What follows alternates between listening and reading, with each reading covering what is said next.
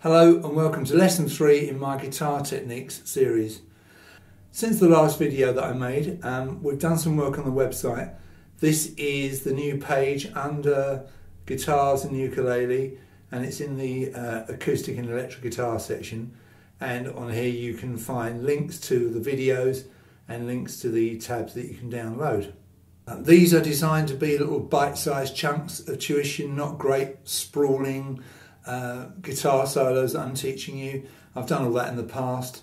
The idea with this is just to give you um, some little bits of wisdom that you can put into your playing and some useful tips.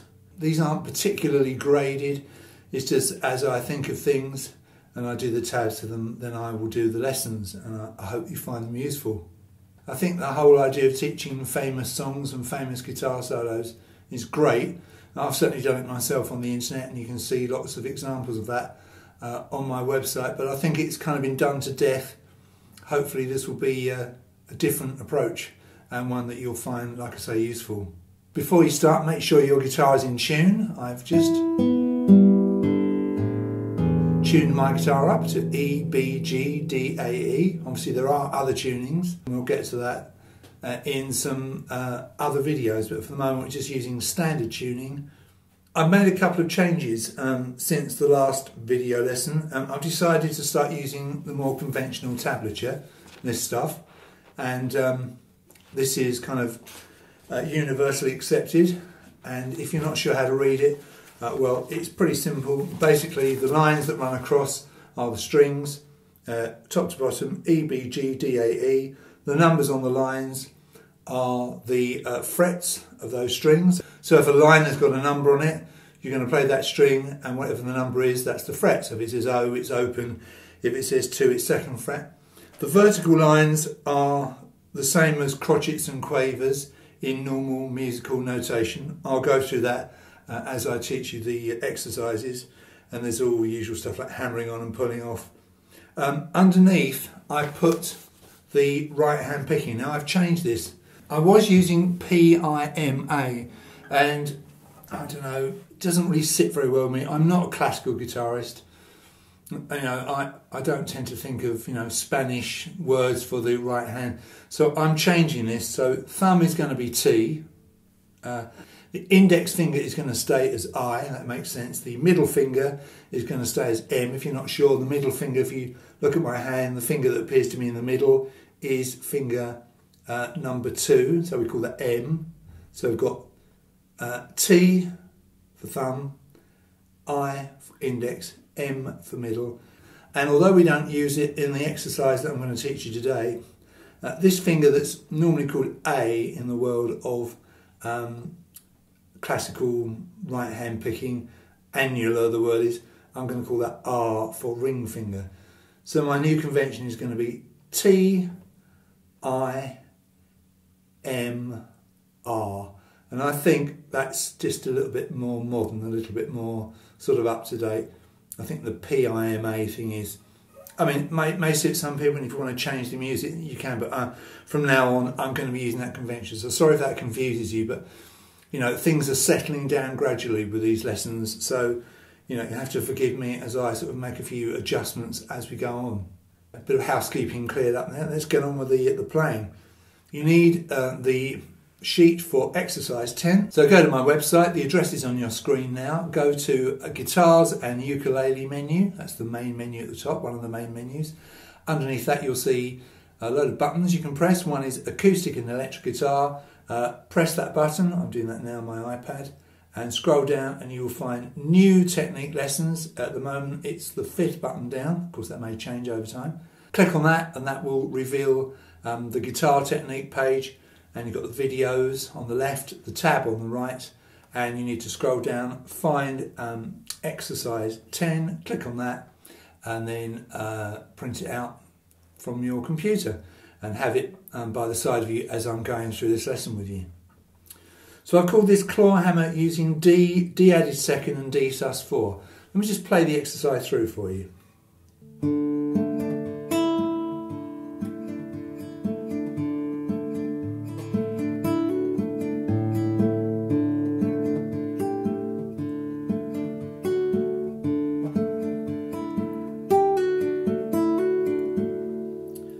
Okay, so that's a nice pretty little pattern, all basically on a D chord just a few little changes as we go. Right, so the first chord is D added second. What is D added second? Well, it's a normal D major chord, a normal D chord.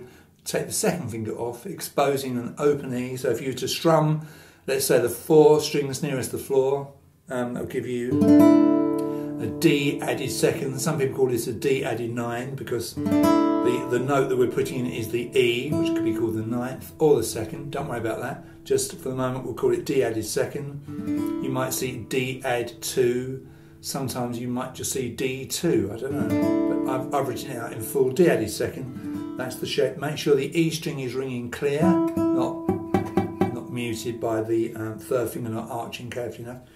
Usual things, pressing, arching, close to the frets, short uh, fingernails, and you're good to go. So that's your chord. Now, if you did the first uh, lesson with me, uh, lesson one, all about the claw hammer, we did this pattern first of all, a simple claw hammer where the thumb was going from the fourth string to the third string on the D chord, like that and index finger was uh, picking the second string and the middle finger was picking the first string. Well, it's the same exercise, but like I say, with that E string open. So that's the first bar of music, and you can see from the tablature there, the first O is on the D string, the fourth string down. Underneath is a single line that shows it's a crotchet, a whole beat. Underneath that says T for thumb. And then you've got a number two on the G string, second fret of the G string. So play the G string and underneath it says T, thumb again. The next thing you see looking from left to right is a number three uh, on the B string, third fret of the B string. You've got these notes if you're holding down the chord anyway. Uh, so you're going to play the B string. Underneath that it says I, so you're going to pick that string with your index finger with a free stroke. Get my thumb out of the way there, like that. Okay. Uh, back to the open D. Oh, by the way, um, yeah, the previous two notes, the second fret, of the G, third fret, of the B, they are linked together. You can see there's uh, the, the, two sort of vertical lines are beamed. So those are quavers counted to and. So we had one, two, and. And then you've got another pair of quavers, open D, open E, okay, thumb and middle finger plays that first string. So that's on beat three, three and and on beat four you play the second fret the G string again with your thumb. So that gives you one, two and three and four. And if you've done the first couple of lessons with me you won't find that too hard. Um, right at the beginning of the tab you can see 4 4, that's your time signature. Um, don't worry about the lower number, the top number is the one you need to worry about. Four beats to the bar, so one, two, and three, and four. And play it as slowly as you need to Like that, or even slower. Notice why I'm picking. I'm not directly over the sound hole.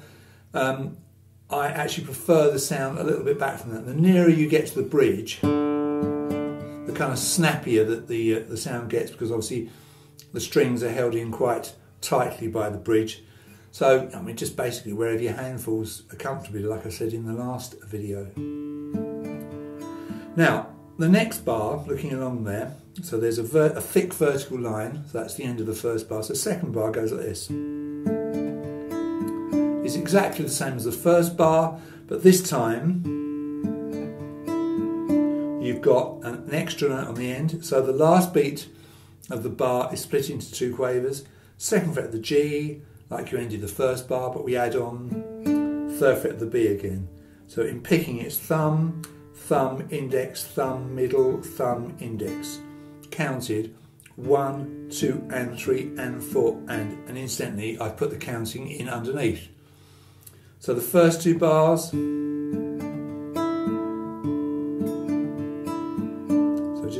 little bit busier. Now bar three on the next um, row of tablature. Tablature, we often say tab for short by the way, sounds like this. So it's the same as bar number two, except I'm changing the bass line halfway through, just like I did in exercise one. I'm playing D string and then A string. So on beat three, I'm playing the A string with my thumb just prior to the open E. So it's open D, second fret of the G, third fret of the B, open A, open E, second fret of the G, third fret of the B. Same picking, thumb, thumb, index, thumb, middle, thumb, index. Same counting as the previous bar, one, two, and three, and four, and. And now in bar four, what I do is a little hammer on. Now I've still got my basic D added ninth chord, which is, just to remind you, a D chord without the second finger on. I'm going to pinch two strings together, so the open D and the open E. So you can see that the D string is played with the thumb, the E string with the middle finger, just like as before in the previous bars. Play the two strings together, and once you've done that, hope you can see this on my left hand, basically the, the second finger is banging or hammering down behind the second fret, so turning my D added second into a D, like that. You know that? that's one and, counting one and, two and, three and four. And then the rest of the bar is the same as the previous one, so you'll have to at some point in that bar lift that second finger off so it's open uh, for that uh, one but last note. Okay, so let's have a listen to those first four bars.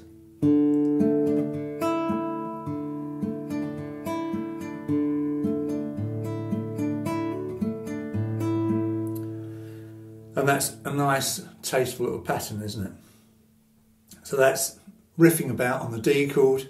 This is the sort of thing you could put into a nice sort of folky song, nice sort of love song you're writing, um, a really useful pattern, uh, very sort of James Taylor like, isn't it? If you know James Taylor is.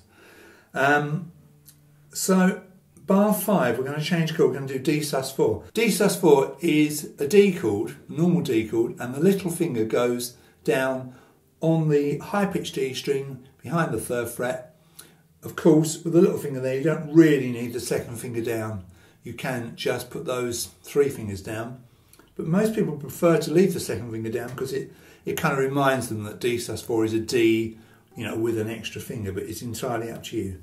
It's called D sus4 because we're using the fourth note of the scale, D, E, F sharp, G, that note there, see it? But basically with a D chord. Now, it always sets up a kind of a tension, a kind of, oh, that doesn't sound right kind of feeling, which is resolved in the next bars, you'll hear.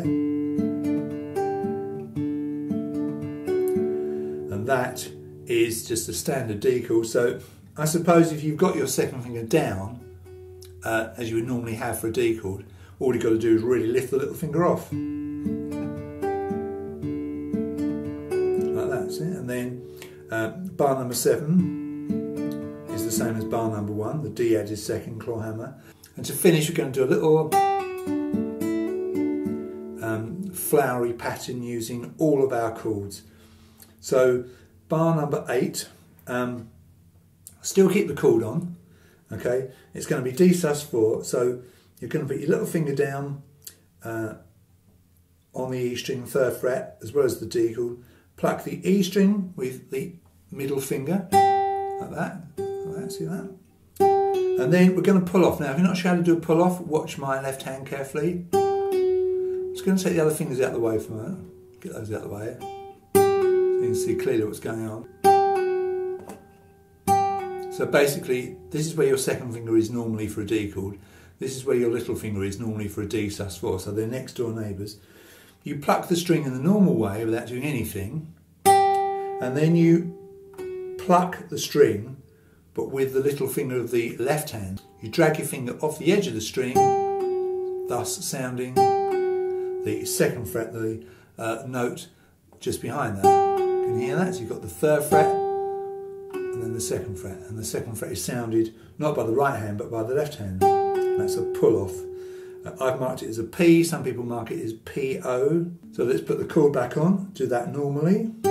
As you pull off, then you pluck the B string and the G string, index finger, thumb, and then you're going to lift the second finger off, giving you that D added second chord.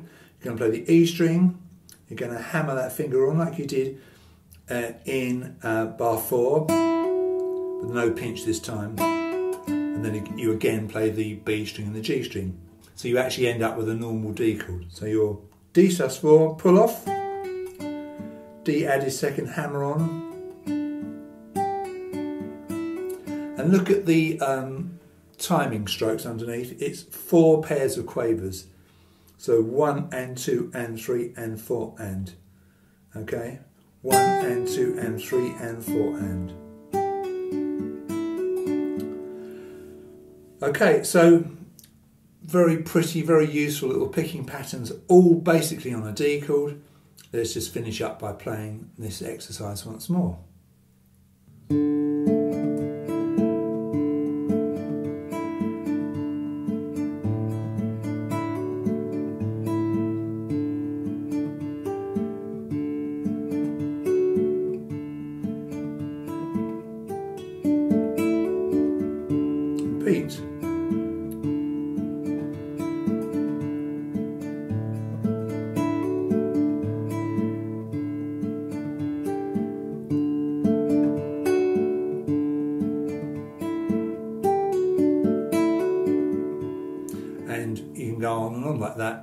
Just one chord.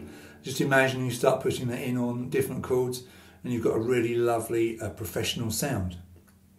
So that is exercise 10. It's probably enough for one day. Um, I suggest you practice this bar by bar and then start gluing it together a couple of bars at a time until you can play all eight bars.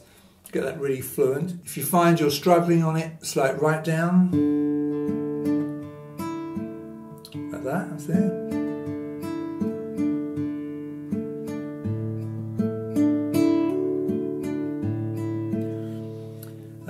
Gradually um, build the speed up. Obviously, you can mix and match this. You don't have to do it in this order. You could start off with the sus4, go to the D added second.